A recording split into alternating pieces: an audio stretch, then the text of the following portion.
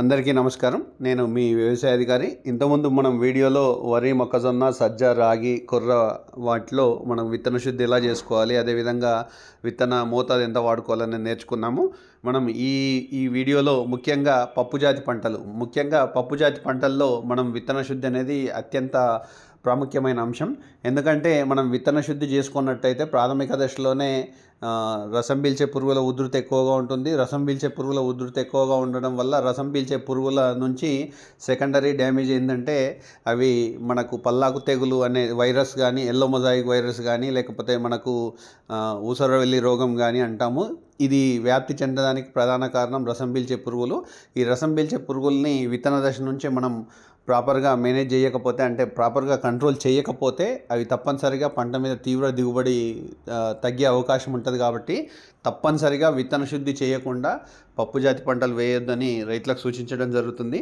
ముఖ్యంగా మనకు కంది పెసర మినుము శనగ ఉలవలు అలసంద వీటికి సంబంధించిన విత్తన మోతాదెంత విత్తన శుద్ధి ఏ విధంగా చేసుకోవాలనేది ఇప్పుడు చెప్పడం జరుగుతుంది.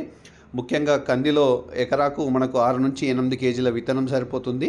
దీని విత్తన శుద్ధి కోసం మూడు గ్రాములు తైరామ్ కానీ లేదంటే మూడు గ్రాములు క్యాప్టాన్ కానీ తర్వాత మనకు జీవన ఎరువుకు సంబంధించి రెండు వందల నుంచి నాలుగు వందల గ్రాములు రైజోబియంను మనం మొత్తం క్వాంటిటీకి మనం చేసుకున్నట్టయితే విత్తన శుద్ధి చేసుకున్నట్టయితే వెర్రి తెగులు మరియు ఎండు తెగుల్ని సమర్థవంతంగా నిర్ నివారించుకోవచ్చు. మనం ఇక్కడ జీవన ఎరువుతోని మనము విత్తన శుద్ధి చేయడం వల్ల గాలిలోని నత్రజన్ని మనకు వేరుబుడిపల్లో ఆ, నత్రజని రూపంలో ఫిక్స్ చేసే అవకాశం ఉంటుంది కాబట్టి మనకు ఎరువుల వినియోగం కూడా తగ్గే అవకాశం ఉంటుంది కాబట్టి విత్తన శుద్ధి చేయడం వల్ల మొదటి రోజు నుంచే మనకు ఈ రైజోబియం బ్యాక్టీరియా అనేది దాని పనితనం మొదలు పెడుతుంది రెండోది వచ్చేసి మనం పెసర. పెసర దాదాపుగా ఆరు నుంచి ఎనిమిది కేజీల విత్తనం సరిపోతుంది.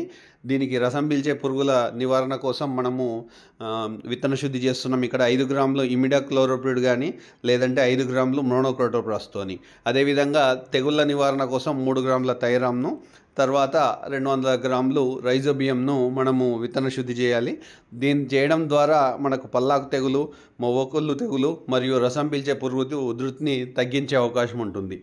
అదేవిధంగా మినుము కూడా ఆరు నుంచి ఎనిమిది కేజీలు ఇది కూడా సేమ్ ఐదు ఐదు గ్రాముల ఇమిడాక్లోరోపిడు విత్తన శుద్ధి లేదంటే ఐదు గ్రా ఐదు ఐదు మిల్లీ లీటర్ల మోనోక్రోటోపాస్ను కానీ మూడు గ్రాముల క్యాప్టాన్ కానీ తర్వాత రెండు వందల గ్రాముల రైజోబియం కల్చర్ను కానీ మనం మొత్తం టోటల్ విత్తనానికి చేసుకున్నట్టయితే విత్తన శుద్ధి చేసుకోవచ్చు. దీనికి ముఖ్యంగా బూజు తెగుల్ని పల్లాకు తెగుల్ని ఆకు రసం పీల్చే పురుగుల ఉధృతిని సమర్థవంతంగా నివారించుకోవచ్చు.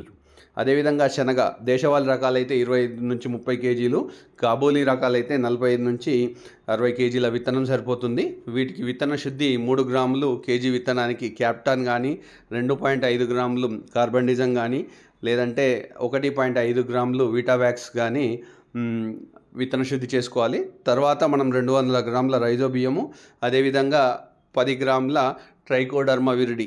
ఈ విధంగా చేసుకున్నట్టయితే మనకు విత్తన శుద్ధి ప్రాపర్గా అవుతుంది. అదేవిధంగా ఎండు తెగులు మరియు కాయ కాయదొలుచు పురుగు యొక్క ఉధృతిని కొంతవరకు తగ్గించుకునే అవకాశం ఉంటుంది. ఇక్కడ నెక్స్ట్ వచ్చేసి ఉలువలు పది నుంచి పన్నెండు కేజీల విత్తనం సరిపోతుంది ఎకరాకు. వీటి విత్తన శుద్ధి కోసం ఒకటి గ్రాముల ఒక గ్రామ్ కార్బనిజం కానీ లేదంటే ఒక గ్రామ్ థైరామ్ను కానీ మనం విత్తన శుద్ధికి వాడుకోవచ్చు. ఇది నివారించేటువంటి తెగుళ్ళు వచ్చేసి పల్లాకు తెగులు ఆకుమచ్చ తెగులు అదేవిధంగా తెల్లదోమను కొంతవరకు నివారించుకునే అవకాశం ఉంటుంది. చివరిగా వచ్చేసి అలసంద ఎనిమిది నుంచి పది కేజీలు విత్తనం సరిపోతుంది. మూడు గ్రాముల థైరామ్ కానీ రెండు గ్రాముల క్యాప్టాన్ కానీ తర్వాత రెండు వందల గ్రాముల రైజోబియంను ఆరు ఎనిమిది గ్రాముల ట్రైకోడర్మా విరిడిని. ట్రైకోడర్మా విరిడి అనేది మనకు ప్రారంభ దశలో వచ్చేటువంటి ఎండుకుళ్ళను నివారిస్తుంది. ఇది జీవ సంబంధమైనటువంటి శిలీంద్రనాశిని. అదేవిధంగా రైజోబియం అనేది జీవ సంబంధమైనటువంటి జీవన ఎరువు. ఇది ఇంతకుముందే చెప్పినట్టు గాలిలో నత్రజనిని స్థిరీకరిస్తుంది. ఇది ముఖ్యంగా పల్లాకు తెగులు ఆకుమచ్చ తెగులు మరియు రసం పీల్చే పురుగుల్ని నివారించుకునే అవకాశం ఉంటుంది. అందరికీ ఒక డౌట్ ఉంటుంది. జీవన ఎరువులు అదేవిధంగా జీవన సంబంధ పురుగు మందులు కెమికల్ రసాయనాలు ఎలా వాడాలి అనేది దానికి ఒక ఫార్ములా ఉంటుంది. ఎఫ్ఐఆర్ ఫస్ట్ ఫంగిసైడ్ తర్వాత ఇన్సెక్టిసైడ్ తర్వాత రైజోబియం. అంటే ఎఫ్ఐఆర్ ఫంగిసైడ్ ఇన్సెక్టిసైడ్ రైజోబియం. అంటే ప్రతిదీ కూడా విత్తన శుద్ధి చేసిన రెండు మూడు గంటల తర్వాత నీడలో ఆరబెట్టి రెండో దానికి రెండోది అయిపోగానే మూడో దానికి వెళ్ళినట్టయితే మనం ఏకకాలంలో అన్ని సమర్థవంతమైన ఫలితాలు పొందే అవకాశం ఉంటుంది కాబట్టి తప్పనిసరిగా మళ్ళొకసారి చెప్తున్నాను విత్తన శుద్ధి లేకుండా పప్పు జాతి పంటలు వేసినట్టయితే ఆశించినంత దిగుబడి రాదు.